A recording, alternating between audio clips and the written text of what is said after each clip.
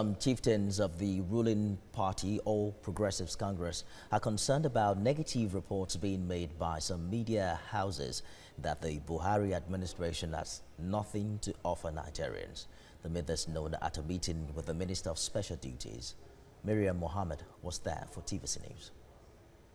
Since the Muhammadu Buhari administration came to power in 2015, some Nigerians have expected positive change in terms of economy, education and many more.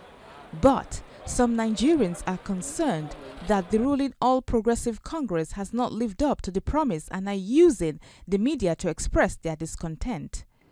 But some members of All Progressive Congress chieftains have decided to address this using the same media platforms to counter these claims by portraying the good deeds of this administration and infrastructural development, empowerment programs across the country. APC chieftains commends the President Muhammadu Buhari on a job well done for the infrastructure and empowerment programs carried out by his administration across the country. Also, the chieftains pledges their support for the President most of the people, once you share the media, doesn't want to say a good thing about what this present administration is doing.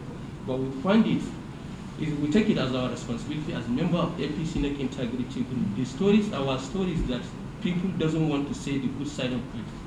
We are taking it as our primary responsibility to tell the world what this government has done. The Buhari administration is commended for placing emphasis on promoting the cause of Nigerian youth through most of its empowerment projects.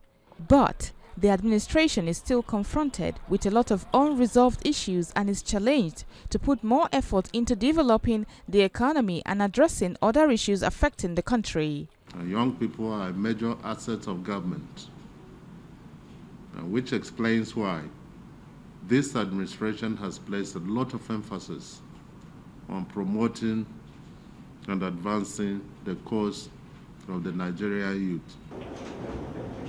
APC chieftains encourage Nigerians to be patient with the Muhammadu Buhari's administration as it is committed to improve the welfare of the citizens.